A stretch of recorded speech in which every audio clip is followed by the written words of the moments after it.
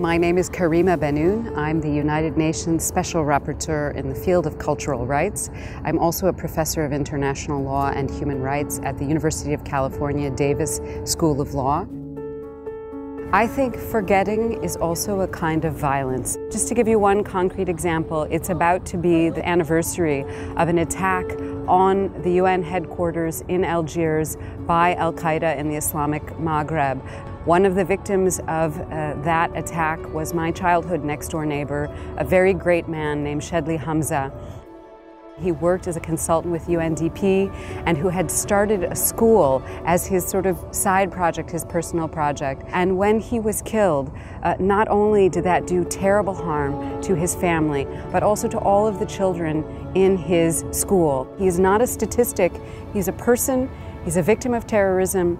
Uh, and he deserves for us to remember him and all the other victims of that attack and all the others, unfortunately, that continue to happen. My name is uh, Ndugwa Hassan. I am a co-founder of the Uganda Muslim Youth Development Forum. On the night of uh, July 11th, 2010, I joined two, three of my colleagues uh, to the Kyadondo rugby grounds in Kampala, Uganda. As we enjoyed the game towards the 78th minute, I had the loudest sound of my life.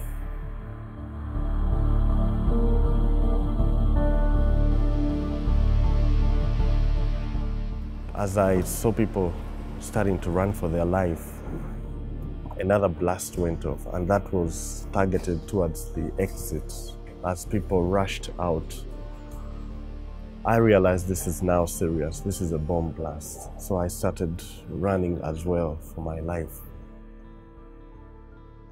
I'm Laura, Laura Dolci, and I'm, I'm Italian. I work uh, in Geneva right now at the UN Office for Human Rights.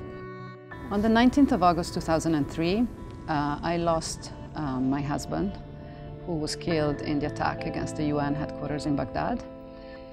On that day, I lost my partner, a dear colleague, and I lost the father of our baby child.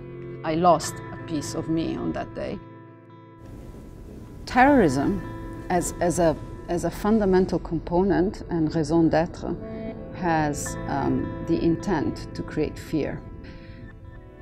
It is possible to react to this by standing up, upholding the values of rule of law, of coexistence, of, of human being solidarity, um, and in there, I think states and the United Nations and the communities have a role to play. If you address the issue of victims and resilience of victims, families, and communities, you are, in a sense, voiding the, the, the message of fear. Victims of terrorism voices are very important. These are people who provide uh, a human face to terrorism.